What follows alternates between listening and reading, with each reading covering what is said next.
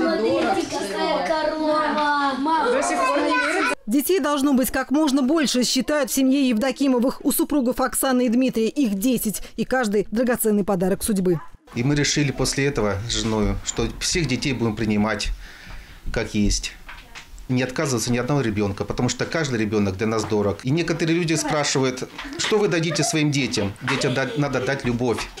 Самое главное – любовь, и все у них будет. Быть многодетными родителями – нелегкий труд. Надо найти время, чтобы заглянуть в глаза каждого ребенка, узнать, что его волнует, и вовремя дать совет. И сложно, и счастливо. Очень много радости дети, и также и печали много, и проблем, и забот. Ну, напополам, я думаю. Тут же поплакал, тут же улыбнулся, и радость. Столько же и радости они приносят. Во Владимире около 60 тысяч детей. Во многих семьях есть материальные проблемы. Многодетные, малообеспеченные семьи с детьми-инвалидами получают поддержку по линии социальной защиты. В последнее время были введены дополнительные выплаты.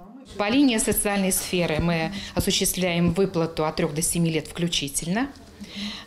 По линии пенсионного фонда 5 тысяч с апреля по июнь – это семьи, которые имеют в своем составе э, детей до 3 лет.